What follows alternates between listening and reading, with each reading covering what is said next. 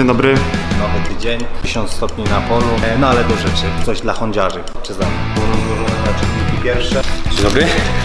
Co mam powiedzieć? No co, wykonujemy one stepa. Maciek!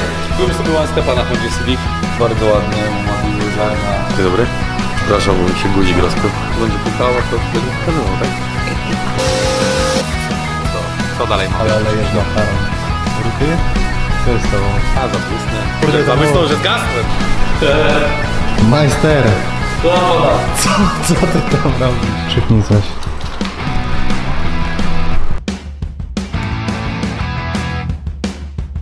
się przejechać klientami naszych samochodów. Cześć Krzysztof. To nie zapierdalaj, bo to... Mogłeś poczekać. Dziękujemy Ci więc zaczynamy.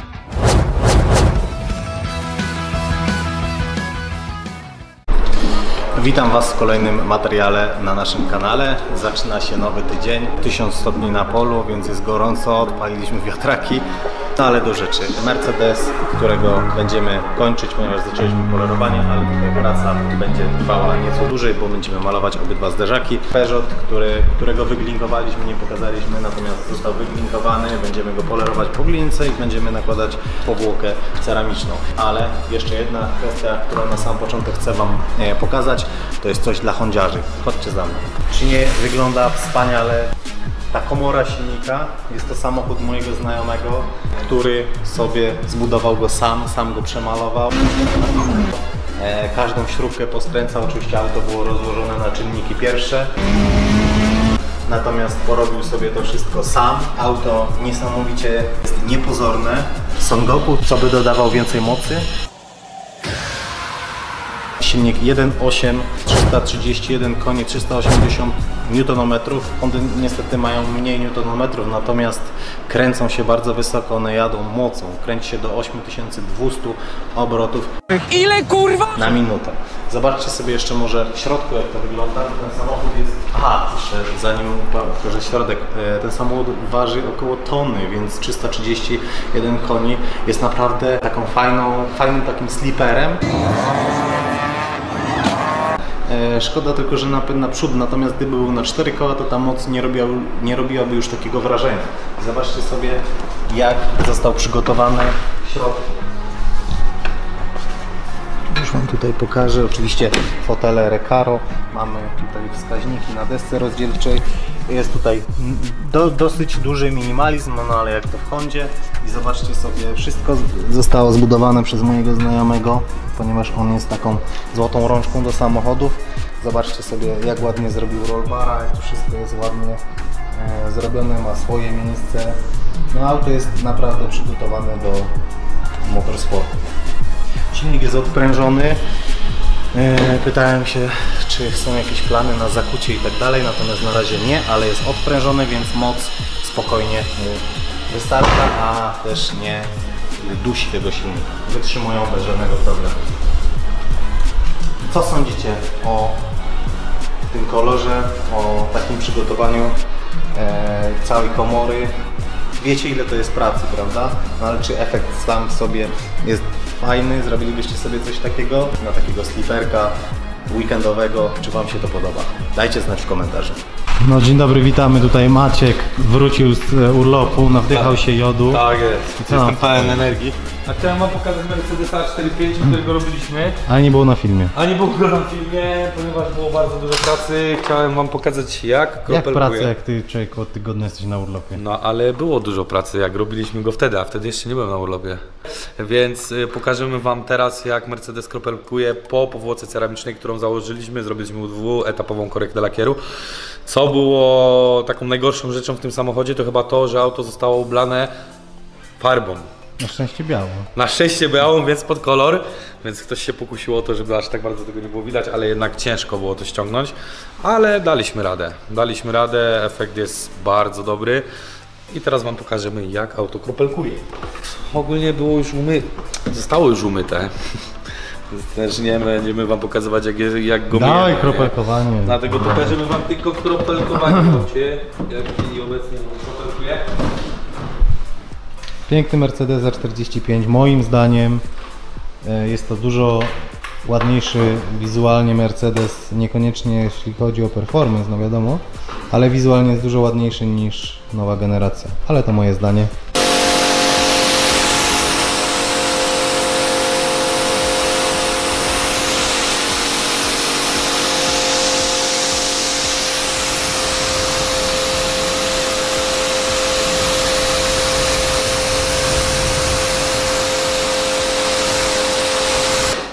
Teraz możecie sobie zaobserwować na folii, bo na folii nie kładliśmy ceramiki, jak auto by kropelkowało, gdyby nie było powłoki ceramicznej.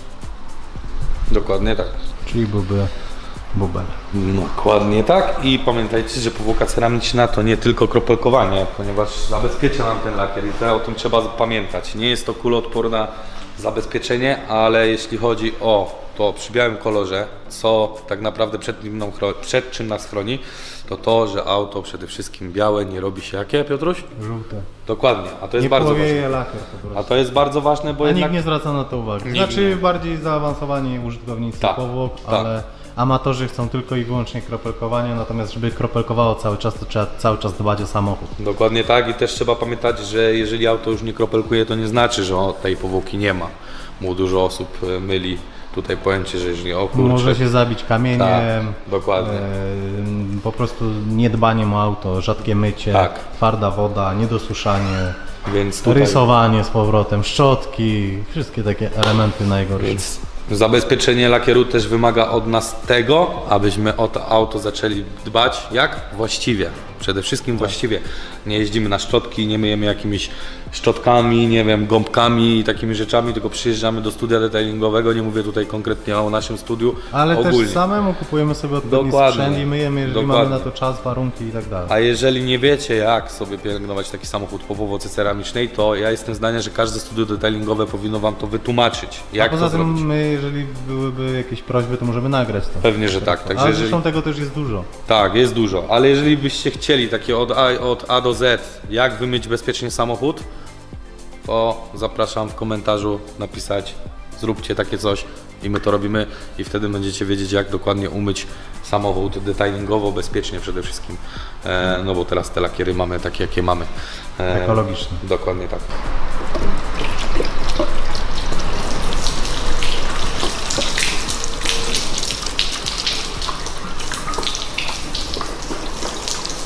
Możecie teraz zaobserwować, lakier jest praktycznie suchy, a jak to wygląda na folii. I tak wygląda każdy lakier, jeżeli jest niezabezpieczony.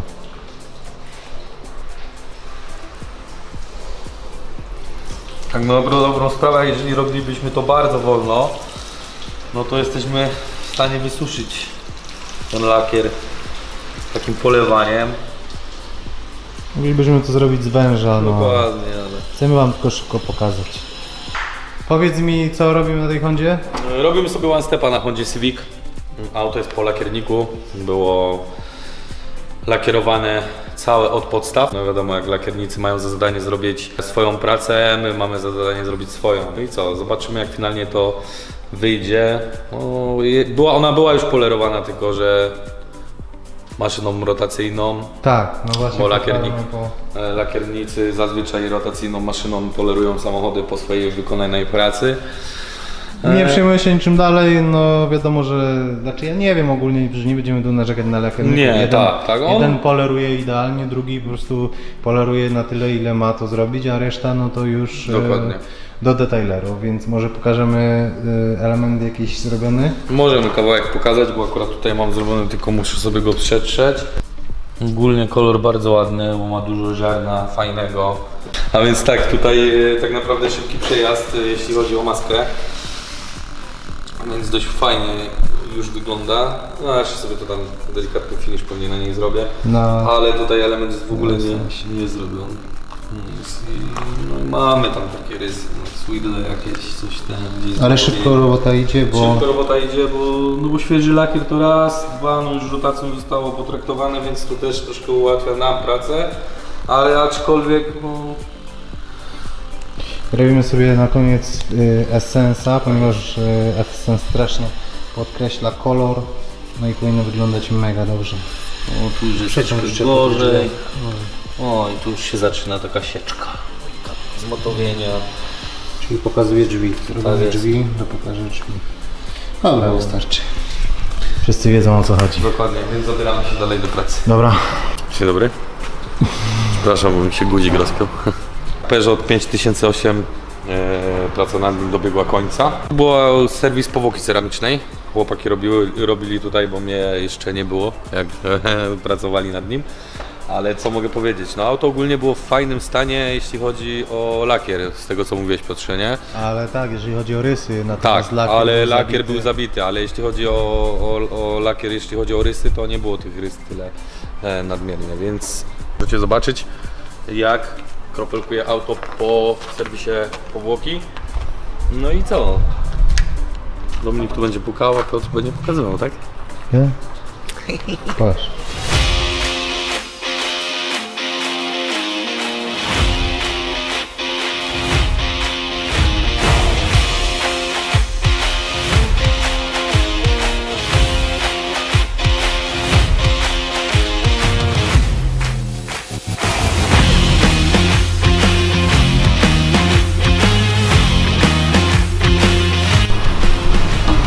Majster, To ona. co, co ty tam robisz? Ale ponoszę pastę do polerowania autycznego kota Jaguara, Jaguara. Kota, no w sumie kot. No kot, jakby nie było to kot, nie? Kot. Mówisz o tym kocie? Bo że kiedyś bardzo mi się podobały i bardzo chorowałem na taki samochód, ale oczywiście nie było mi wtedy stać na niego. Eee, ale Mówiłeś, że jak przejechałeś się to wygodnie, E, nie? Tak, bardzo wygodny samochód. Jeździłem paro, paroma samochodami, ale dalej twierdzę, że ten Jaguar, no wiadomo, starszy typ, nie? Fotele inne i tak dalej, ale jest naprawdę bardzo komfortowy. Wydaje mi się, że w trasie nie miałbym problemu, żeby takie 700 km czasnąć strzała z przerwą na papieroska. Nie, wygodny, fajny samochód y, i tych egzemplarzy jest mało, jeśli chodzi o to, żeby trafić w dobrym stanie, także jak ktoś takiego ma, to niech trzyma. Jak będzie chciał sprzedawać, to może kiedyś kupię. Ale nie, naprawdę bardzo fajny samochód. Eee, przejdźmy może, co robimy na tym samochodzie. Robimy jednoetapową korektę lakieru. Eee, no jest troszkę zniszczony. Jest troszkę zniszczony, kolor jest taki nietypowy, eee, bo wydaje mi się, że to taka butelkowa zieleń, coś ten. Ale będzie fajnie wyglądał. Wiadomo, no nie zrobimy tutaj yy, 100%, no bo klient, Nie no, one step to one step. klient wybrał sobie one stepa. Każdy by chciał oglądać super realizację, Tak. ale trzeba wziąć pod uwagę, że no przecież za One Stepa nie będziemy robić full korekty, bo na internecie wszyscy chcieliby widzieć nie wiadomo co, ale prawda jest taka, że One Step nie wiadomo czego nie ściągnie, auto Dokładnie będzie tak. wyszklone, ale nie będzie to seta, no i trzeba to zrozumieć, a osoby na internecie po prostu czasami są takimi specjalistami, że przy One Stepie powiedzą, o za mało rysów Tak, ściągnięto. dokładnie. Chociaż my i tak nie robimy tak one nie robimy- oszukujmy się. tak, zawsze robimy więcej. dużo więcej niż one Poza tym kto po One Stepie finiszuje lakier? My No finiszujemy. właśnie, my finiszujemy. E, Jest trochę pracy, zrobiliśmy tutaj maskę, Piotr zrobił maskę, błotnik, zaczyna robić dach, tutaj e, z Dominikiem skończyliśmy ten bok, ja przechodzę teraz do klapy bagażnika. Ale co, może Wam pokażę jak wygląda klapa z tyłu, nie? No bo klapa bagażnika, no, no nie jest, no auto stare, ma swoje lata. No jest matowione jest okropnie. No. Zrobię wam 50 na tym może. O, no. Zrobię wam 50, jak zrobię 50 to wam pokażemy jak wygląda u nas One Step, żebyście zobaczyli różnicę. Znaczy, wam... to też nie ma, ma, nie możemy mówić jak wygląda u nas One Step, bo No. One Step robimy zawsze tą samą metodą, ale niekiedy lakier jest y, mocno Bardziej podatny, tak. tak, albo ja, czy jeden bar- bardziej podatny na e, usuwanie tej rys, nie jeździł Dokładnie na tak. szczotkach, lakier ma na przykład oryginalny, a drugi samochód jeździł na szczotki, wszystko jest wymalowane i jeszcze, Tak. y, no wiadomo jak czasami rotacją lakiernik potrafi przycisnąć i, i One Step narobić. na przykład nic nie zrobi Dokładnie. oprócz tego, że wyszli samochód. No, ale 50 zrobimy. Zrobimy Zrobimy. taką od siebie, żebyście zobaczyli. E, A co tu się dzieje jeszcze? A tutaj Mercedes stracił zderzaki. stracił zderzaki, a to wyłącznie dlatego, że poszło do lakiernika e, naszego takiego zaufanego, więc e, pozdrawiamy tutaj Piotra Tuning. Tak. E, więc on sobie działa. On sobie działa tutaj z, ze zderzakami, my tutaj ten one step, który no niestety tutaj z tym autem troszkę schodzi, ponieważ terminu lakiernika też nie było e, łatwo zdobyć. No ale w tym tygodniu auto zostanie zakończone, wydane klientowi. E, no i co? No, jest tu trochę pracy na nim też. No jest. Środek cały Środek jest zrobiliśmy. zrobiony, tak. Piotr tu zrobił środek na Picobello, bardzo ładnie on wygląda, a był naprawdę w bardzo okropnym stanie, bo tam i z psa jakieś sierści. psa, sierści. Tak, coś tam było takiego nieciekawego. Ogólnie auto strasznie zaniedbane mm, przyjechało do nas, ale to nie e, wina była właściciela pojazdu, ponieważ no niestety ktoś inny to użytkował i, i, no i doprowadził auto do takiego stanu, jak doprowadził. My mamy to poprawić, żeby to auto po prostu wyglądało dobrze. Mm, No ale tutaj też Wam pokażemy realizację końcową, pokażemy Wam no, Mercedes, no, twardy lakier, no, one step tutaj. Dobra, jak pogoda dzisiaj? Pogoda jest straszna, upiorna, wręcz bym powiedział, bo 30 stopni ma być, 30 parę. E, Ja nienawidzę. Dla mnie 20 stopni jest idealnie, wtedy dobrze się czuję. 33 to jest taka sytuacja podbramkowa dla mnie, ponieważ tuż zaczyna się wytapiać i zaczynam się źle czuć. Więc jest źle. Ale no co mam powiedzieć? No gorąc, gorąc. Jeszcze mnie tam troszkę przypiekł gdzieś ten, ale nie piecze, więc to jest najważniejsze. No ale źle jest, no dobrze jakiś wiatrak, coś tego i, i coś, coś tu chodzi, ale na polu jakbym miał teraz, nie wiem, jeździć na rowerze, to Matko Bosko, Częstochowsko, także nie. E, Ale w pracy to jeszcze tutaj jest w miarę optymalnie, da się Zabieramy się za połóweczkę. przeżyć. Tak, dokładnie tak. No mi przypnij coś. Co? Przypnij coś. A u nas to wszyscy sterydy biorą. Co? U nas to wszyscy sterydy biorą. Ja nie biorę. No nie, taki dzikus. No więc tak, tak jak Wam obiecaliśmy, pokażemy A więc Wam. tak. A więc tak. A więc tak. A więc tak.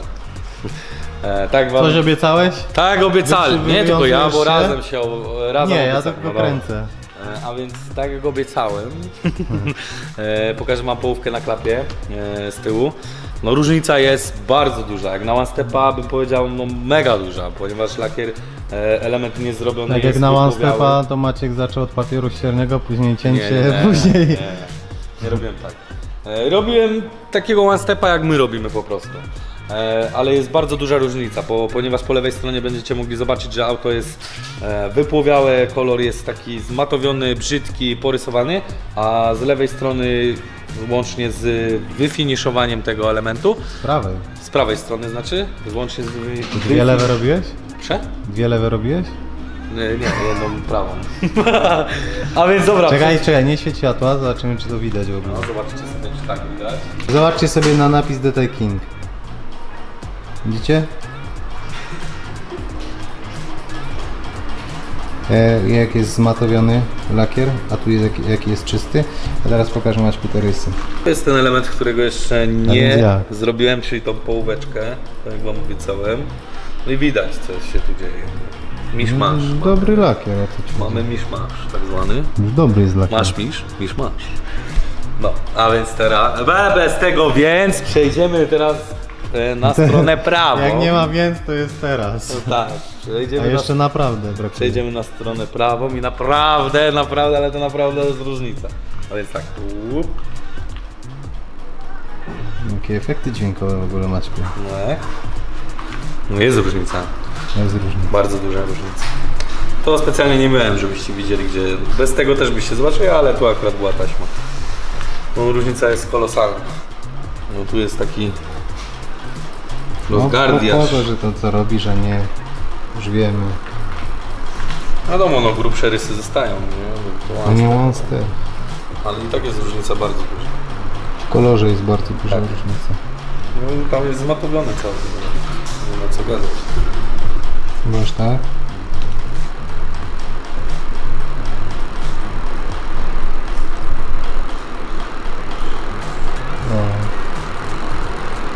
Że też ym, niektórzy ludzie nie chcą sobie robić chociaż one stepa. No właśnie się... jestem pełen podziwu, bo ten lakier przy one stepie jest już naprawdę szklisty. Tak, już zaczyna dobrze wyglądać, że tak powiem. Tak. Na pewno lepiej będzie auto wyglądało przy, po zrobieniu one stepa niż auta, które w ogóle nigdy nic nie miały żadnej ingerencji w, w lakier. Eee, na pewno będziemy się troszkę już wyróżniać z tłumu, że tak powiem, Tak. bo jednak ten lakier jest Ja oczyszczony zawsze, z wszystkich. zawsze mówię, że człowiek się przyzwyczaja do pewnych rzeczy. Tak. Ten lakier jest na przykład zajechany i się przyzwyczajasz. Nie powiem ci do czego to porównam, ale ty wiesz do czego to porównam. Ale właśnie tak jest. Jeździmy, jeździmy, przyzwyczajamy się, nawet nie wiemy jak auto może dobrze wyglądać. Zrobimy one stepa jest wow. Dokładnie Naprawdę tak. to mój lakier? Nie malowaliście? No właśnie. E, A więc mi się wydaje, że tak naprawdę jest Tak. bardziej ktoś chce zainwestować nieduże pieniądze, bo tak naprawdę to nie są duże Tak pieniądze. naprawdę, tak. To nie są duże pieniądze, jeśli chodzi o jednoetapową korektę lakieru tak zwanego one stepa. A chcę, żeby auto wyglądało, to jak najbardziej. To jak najbardziej polecam. Wiadomo, że lepiej by było zrobić dwuetapową korektę lakieru, zabezpieczyć, ale nie każdy też chce ładować pieniądze, nie wiadomo jakie, w swój samochód. Tu trzeba już wybrać sobie samemu, co tak naprawdę chcemy zrobić na aucie. Ale One Step jest dla każdego. Dokładnie. To jest taka usługa dla każdego, aby poprawić wygląd, wygląd e, swojego samochodu i żeby się tam cieszyć.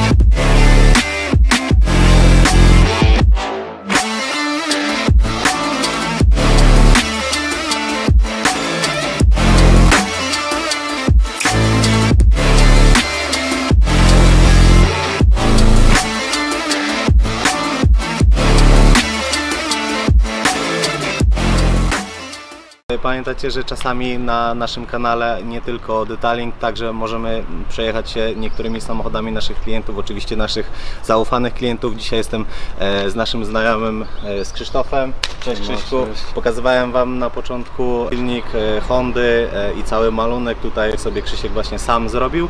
Dzisiaj kilka zdań nam Krzysztof opowie i będziemy mieli okazję przejechać się tym samochodem. Jest to Honda Civic 94 roku w nadwoziu Coupe. Fabrycznie był tutaj silnik 1.6 na jednym wałku 125 koni, V16 Z9 jednostka. Został on wyciągnięty, założony został B18 C4, czyli 1.8 na dwóch wałkach VT, który został odprężony. I co, zostało założone turbo, yy, hybryda jest zrobiona, w sumie takie popularne TD0416T, zrobiona hybryda na 19T, żeby tam u góry wiadomo nie brakło. Ile, ile założyła ci w ogóle, zajęła Ci w ogóle budowa e, tego silnika? Znaczy czasu? budowa jako tako auto, auta to może niedługo, bo tak żeby ją złożyć takiego stanu jak jest, y, jak miałem wszystkie części, no to jakieś 3-4 miesiące, ale to też spędzałem bardzo dużo czasu y, całymi dniami przy tym samochodzie.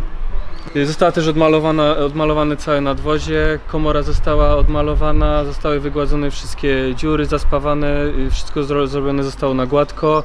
Jeżeli chodzi o sprzęt, no to jest y, kolektor Baran do turbiny, turgo, y, zewnętrzny Westgate Turbo Smarta 40, mm, 40 mm, intercooler, całe rurowanie średnicy 2,25, y, wiadome węże silikonowe, grubsza chłodnica, y, skrzynia hybryda jest tak samo złożona, żeby się szybciej napędzało i kolektor dolotowy, cały zmienny układ paliwowy.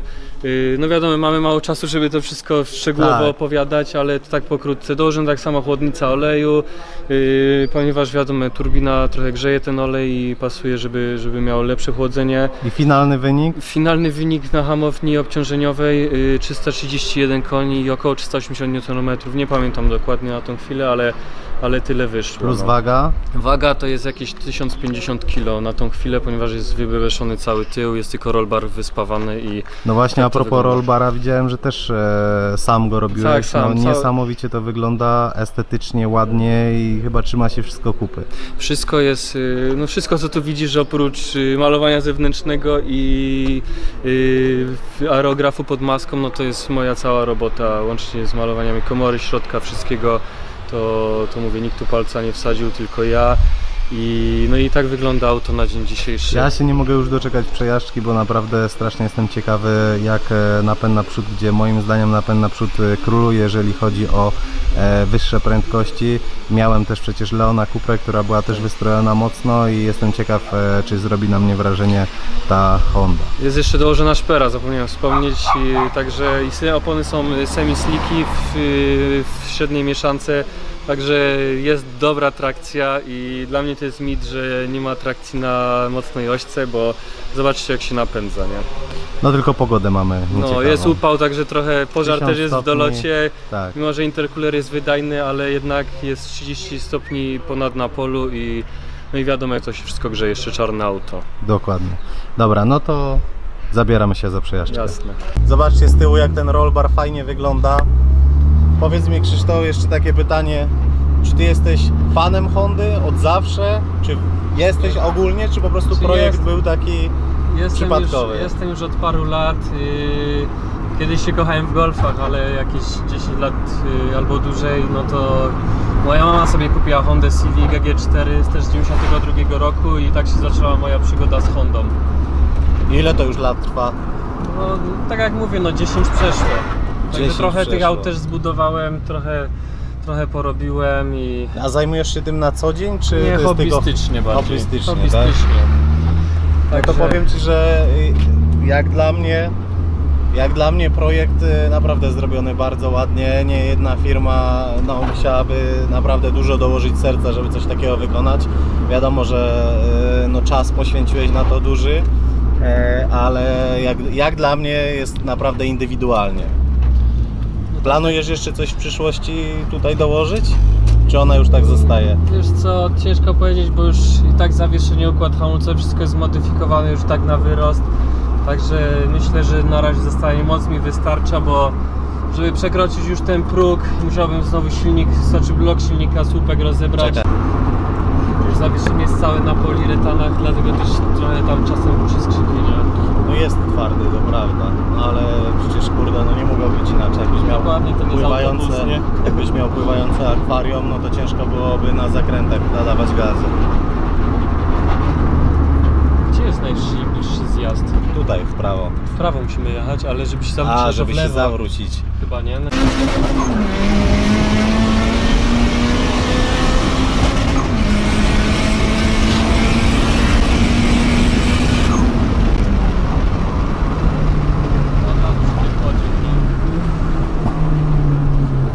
Mogłeś poczekać.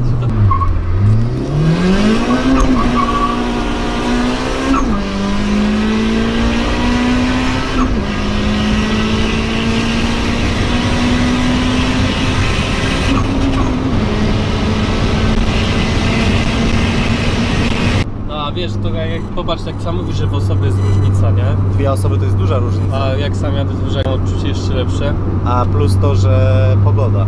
No, W nocy jak było 15 stopni, czy tam 10 i jesteś sam. No ale powiem Ci szczerze, że no kurde, te wszystkie dźwięki z tego silnika, z tego wydechu, no robią wrażenie. Naprawdę auto ma dużą trakcję. Pomimo tego, że to jest napęd na przód. Dlatego mówię, naprawdę fajnie, właśnie jest lekki, dobra opona, się dobrze na tej oponie jeździ. Naprawdę ma zajebistą trakcję. A jaka to jest w ogóle opona? Właśnie najśmieszniejsze jest to, że szukałem jakiejś takiej nie za drogiej, bo testowałem czasami sliki, nie jeździłem na federalach na różnych, to dla mnie to było trochę słabe i wybrałem Nankang y, NS2R. Właśnie w No. średniej mieszance jestem bardzo zadowolony, bo cenowo wychodzi to naprawdę niedużo, a no sam widzisz jaką robotę robi. A nasz e, znajomy właśnie z RX8 też mówił, że założył e, jakieś Chińczyki i jedna z lepszych Tak. gum, e, na jakiej jeździł.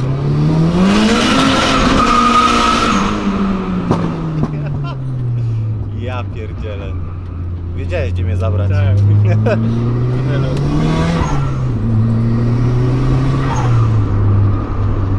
Nie no, powiem Ci szczerze, że mm, e, samochody właśnie te nowsze, typu to Audi, co ja mam, e, nie oddadzą Ci takiego dźwięku, bo Tak. tutaj nie dość, że auto przyspiesza, to jeszcze masz takie uczucie, że Ty jedziesz tym autem, nie? Bo Widać, tam co się jest... dzieje na zewnątrz Tak, też, nie? e, no i ten dźwięk też potęguje Twoje odczucia, uczucia, a u mnie jest tak, że wciskasz pedał gazu i to auto jedzie. Dobrze, że ma chociaż jakiś dźwięk, no bo tak to nie ma, no... To jest to, że auto musi mieć duszę, nie? Tu też liczą się duże umiejętności, bo jednak Ośka tu nie ma systemów, nawet ABS-u nie ma nic. No to dobrze, bo nie trakcji, blokuje ABS, Cię przy tak, trakcji. Tak, ale mówię, tu trzeba też panować, bo jednak już jest trochę mocy i kierownicę trzeba trzymać, bo, bo łatwo wyrywa. Ja miałem tak często przy mocniejszej ośce, że znosiło mnie na jeden albo drugi pas. No, Bardzo często. No. A już nie mówię o tym, że e, no, największy problem ośki no to jest deszcz, prawda? tak. Bo Nie, już... no tak, no to ja już w deszczu nawet nie jeżdżę, bo to nie ma sensu, bo wiadomo, no cóż, cóż pojeździć, jak yy, nawet nie ma opcji, bo do końca czwórki to nawet zamykasz licznik od razu, nie ma w ogóle trakcji, nie? No. Także tak Okej. to wygląda, no. Jakie jest w ogóle tutaj doładowanie na tej sprężarce? Właśnie najśmieszniejsze jest to, że y, finalne jest 0,70, y, może 4 bara w piku, a cały czas 0,7 bara pompuje praktycznie. y, No i właśnie taką moc y, udało się zrobić na tak niskim doładowaniu, także naprawdę jestem bardzo zadowolony.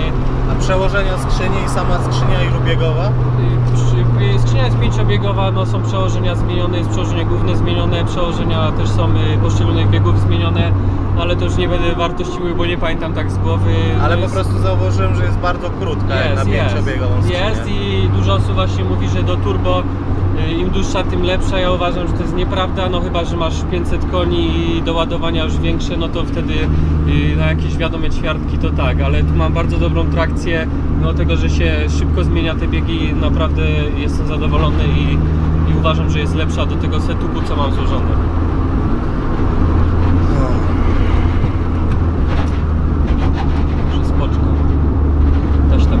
Podoba. Da się, da się, no. E, ale będzie musiał w prawo skręcić i tak.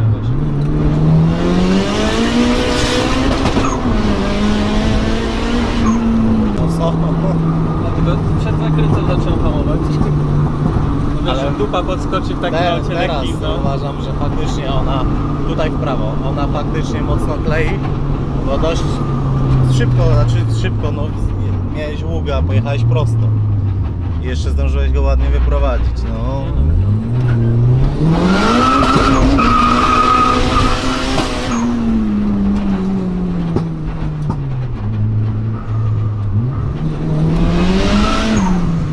niemieckim autobanie.